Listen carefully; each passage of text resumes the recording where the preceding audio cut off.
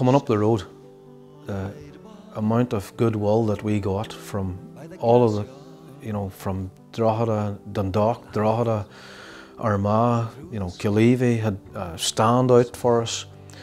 Newry, uh, Cookstown, the whole way up, all of the border, the counties, you know, it was such euphoria, euphoria and, and they give, they made it so special for us. It was unbelievable.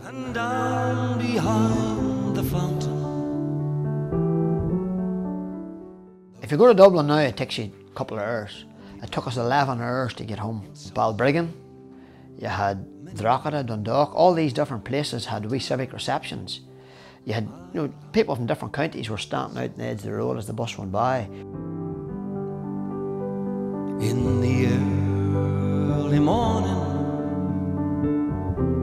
the shirt factory horn called women from Creggan, the moor, and the bog.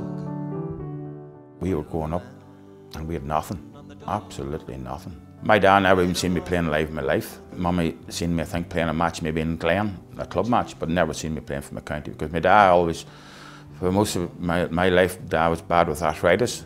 I was in crutches. I would say my best, my best moment and most one that would stand on me when I went down 22 Carnamoney Lane and put the Sam Maguire cup on daddy's knee. That to me is what the J is about. Without complaining. For deep inside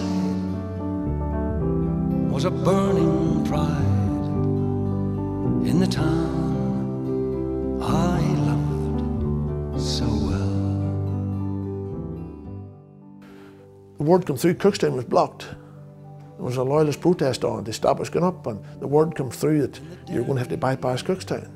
Our bus driver at the time was Benny Vincent, and Benny looked at me and he says, What do you think? And I said, Well, Benny, the way I think there's hundreds of people standing waiting for us there. They expect us to come here. So we'll try it and see how far we get through. And that's what we did do. We went up and we got three quarters way up Cookstown Street and met all the supporters and we had to go out to the. But we done it and things like that there don't stick in my mind, you know.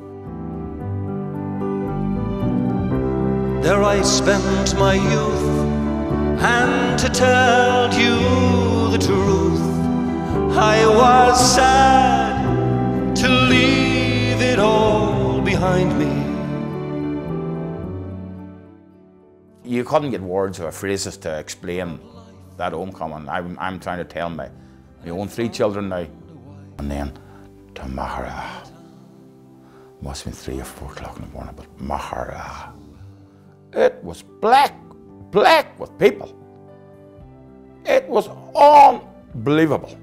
It was just black. The bu- bus couldn't get up the street. But when I returned, how my eyes have burned to see how a town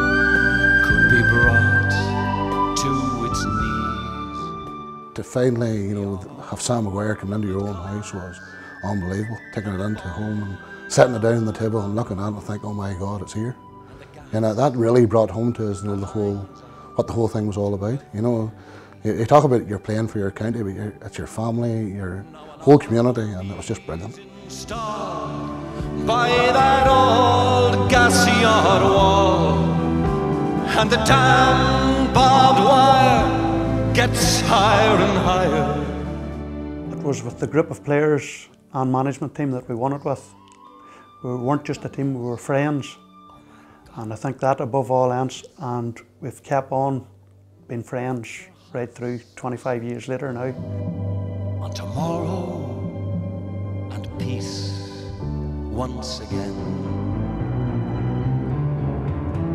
For what's done is done, and what's won is won, and what's lost is lost and gone forever. I can only pray for a bright, brand new day in the town we all love